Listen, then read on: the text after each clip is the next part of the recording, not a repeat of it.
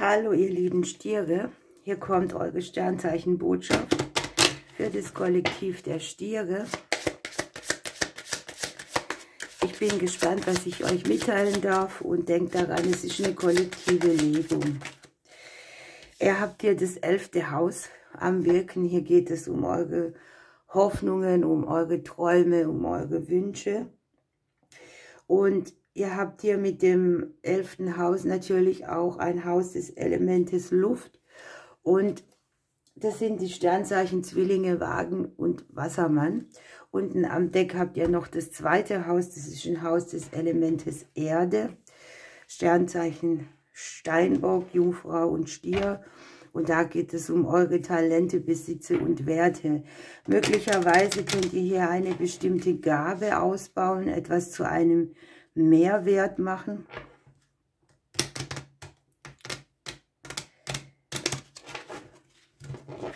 Und jetzt schauen wir mal, was die Karten für eine Botschaft hier dazu haben.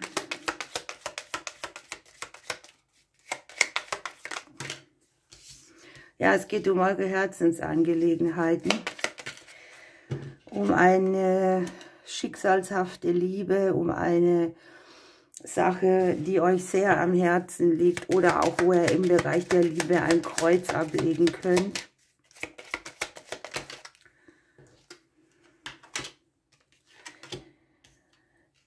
Möglicherweise habt ihr hier diese Situation, dass ihr euch nicht richtig angebunden fühlt, dass ihr Trennungen aus der Vergangenheit, aus diesem Bereich noch im Unterbewusstsein sitzen habt, dass ihr manchmal das Gefühl habt, alles alleine machen zu dürfen oder ja, ich würde mal sagen, allein gelassen zu sein, kann natürlich auch so ein Glaubenssatz sein oder eine Erfahrung. Und ihr habt ja einiges, das ihr gerade klärt auf der bewussten Ebene. Also ihr sucht Antworten und Klarheit. Das kann ja auch ein schicksalshaftes Thema sein, ne? dass ihr so einen Lebensweg habt, wo ihr viel alleine bewerkstelligt oder mh, hm, euch alleine durchboxt, euch auch vielleicht gern zurückzieht und für euch seid. Das wird ja auch oft angeklagt, ne, wenn man so ist. Ich finde das genial, denn wenn ich mit mir gut klarkomme, kann ich äh, das Außen bereichern, aber auch nicht so aus dem Tritt bringen. Ich habe hier so aus der Vergangenheit, dass ihr schon sehr viel gedreht habt, erlebt habt. Das Schicksal hat es hier auch mal gut mit euch gemeint, euch neue Situationen zugespielt. Jetzt kommt ihr vielleicht an den Punkt, wo ihr merkt, irgendwo braucht etwas mehr Liebe, mehr Erfüllung. Was braucht mein Herz? Hier haben wir jetzt tatsächlich auch ein Gegenüber.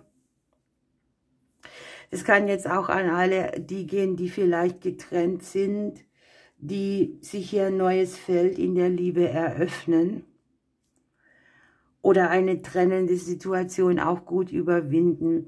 Hier geht es auch darum, dass du dich fragst, das haben wir schon auch in der näheren Zeit, wo investiere ich rein, wo gebe ich etwas, was sind meine Herzensprojekte, wo mache ich vielleicht auch zu viel oder wo fehlt mir auch so mal ein bisschen Unterstützung.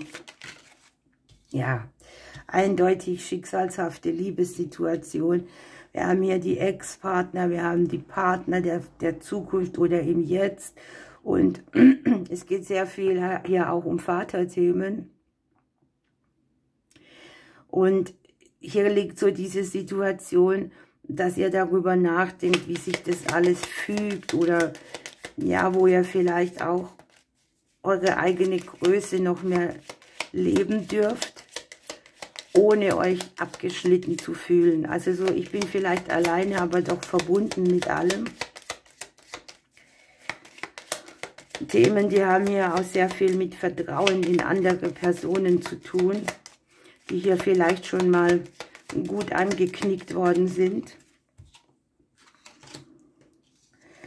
Ja, und hier kommen Wege und Chancen aus dem Umfeld mit. Da kannst du vielleicht mal eine andere Option nutzen als bisher. Entscheidungen treffen für dich.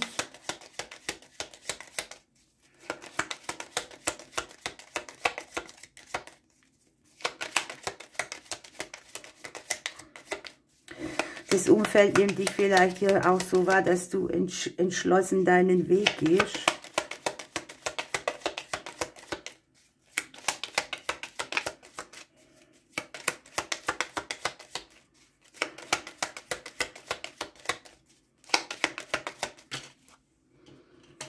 Einsteils, wünsch, äh, einsteils wünschst du dir hier Veränderung. Andererseits hast du auch Bammel davor. Ne?